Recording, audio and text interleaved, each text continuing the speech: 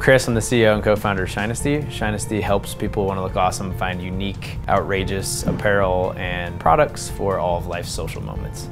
When I got brought in, uh, Shinesty was using an outsourced database and business intelligence solution. I was brought in to help transition the company from that very inflexible, tough to manage database. While our business may look very fun from the outsider's perspective, and it is very fun and silly, there is a lot of serious analysis going on behind the scenes, and everything that we do is driven by data. When I started, we were using really large spreadsheets. We had multiple data sources. We needed someone to host our database, and that's where Panoply came in. We were able to build reporting that allowed for much more strategic decision making and allowed us to make decisions based off of analysis and without spending four hours building that analysis out. We now have a number of different reports that go out throughout the day. Now that we have all this data in one warehouse, the questions that we can answer are endless and we just continue to grow. It was very easy to look at the report and see visually how much inventory we had versus sale dollars. And this allowed us then to immediately see that we have way too many of one item versus how much we're selling. So not only are you getting the information you want, but it's really easy to see.